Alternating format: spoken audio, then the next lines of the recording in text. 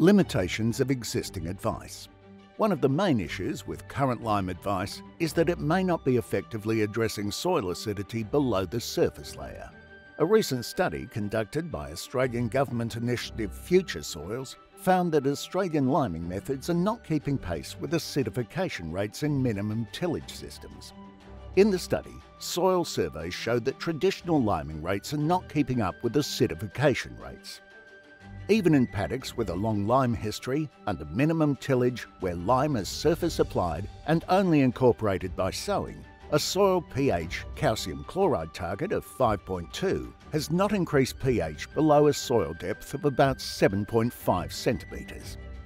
Key recommendations from the study include traditional liming practices cannot be relied on to stop acid layers from forming in productive soils.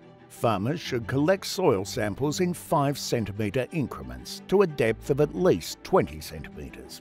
Soil remediation plans should incorporate lime to the depth of the acid layers.